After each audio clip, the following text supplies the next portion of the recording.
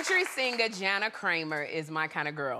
Now, Jana went on the Red Table Talk and she said that she handled her husband's infidelity like many women would. She destroyed his stuff. Let me tell you how to do it coming from a woman who has been cheated on several times.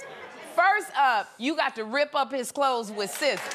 Then what you do, Jana, you call them credit card companies. You call card companies so they can cut off the credit card. And if a man answers, you keep hanging up till you get a woman. And every woman from American Express to Visa will cut them cards off right now. Then, girl, what you do, Jana, you go to the bank.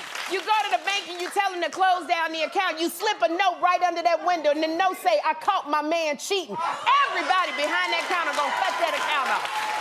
And then the last thing you do, Jana, is you call his mama you tell his mama.